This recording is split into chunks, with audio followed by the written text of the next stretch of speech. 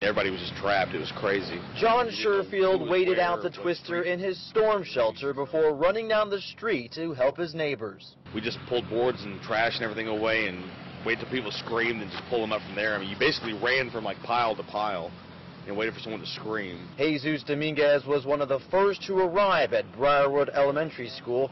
He remembers hearing the sounds of the kids screaming for help. You want to help them. It's, painful, basically. Just the sound, hearing it, it's, it's pain. Because you think of it, what if that was my family member?